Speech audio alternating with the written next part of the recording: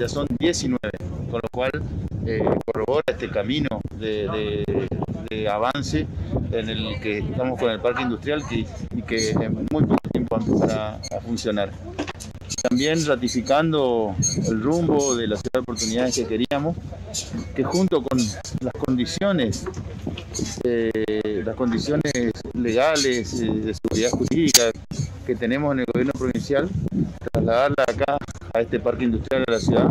para el establecimiento de, estas empresas que sin duda van a dar trabajo a los correntinos. Hoy es una realidad, este, ya tenemos eh, luz eléctrica, esas máquinas que escuchamos son, son, con respecto al agua potable, eh, ya hay caminos eh, y bueno, empresas que están decididas a invertir en diferentes temas, en tecnología moderna, una diversidad de, empresas que quieren apostar acá en Corrientes, en la capital y en la provincia. Sin ninguna duda, este país se hizo grande con los empresarios, con los pequeños y medianos empresarios, con los que eh, apostaron a un crecimiento, con los que generan trabajo. Y Corrientes es una provincia de trabajo y la ciudad está en esa línea. Realmente estamos muy contentos, se sumaron cuatro empresas más.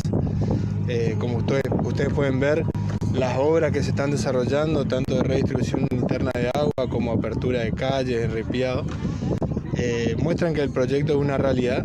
y que, como decíamos hoy más temprano, esto no hubiese sido posible sin un trabajo en equipo.